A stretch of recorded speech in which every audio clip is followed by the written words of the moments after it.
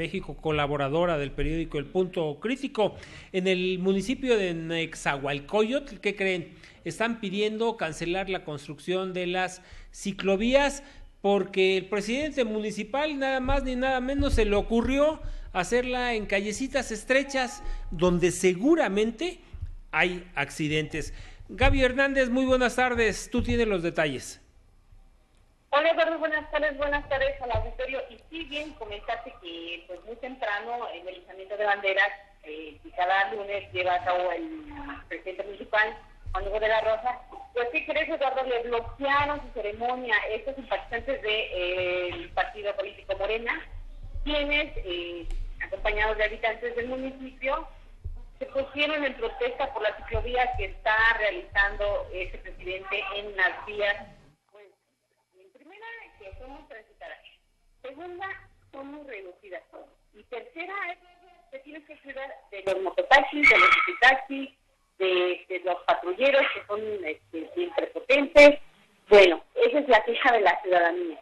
Por otra, por otro lado, Eduardo, en ese mismo entorno, pues estaban mencionando que va a ser esta ciclovía en lo que es la avenida eh, eh, Lázaro Cárdenas hacia la Texcoco. Esta es una avenida muy, pero muy reducida, Eduardo. Y bueno, eh, de ser a dos carriles, ya necesitaron prácticamente uno.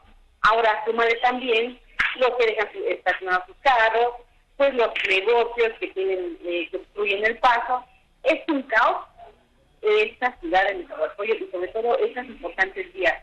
Ahora también dicen los habitantes, y nos eh, lo hemos constatado, que ya nada, nada más es circo, teatro al suelo. Porque ahora eh, recordarán que las famosas palmeras que el, hoy diputado Juan Cepeda pues, colocó su administración como alcalde en este municipio, pues le salieron en una millonada y hoy lo único que dan son ácidos, bueno, que te voy a decir, Gaby, pareciera que no tienen un plan de desarrollo, un plan de trabajo, que las cosas las hacen pues sobre las rodillas, ¿no? Se levantan con el pie derecho y se van por la izquierda, se levantan con el izquierdo y por la derecha porque muchas veces ni eso entienden.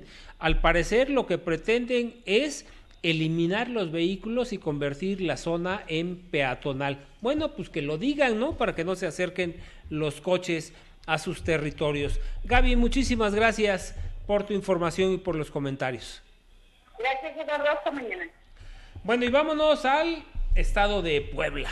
Mire que el gobernador Rafael Moreno Valle sigue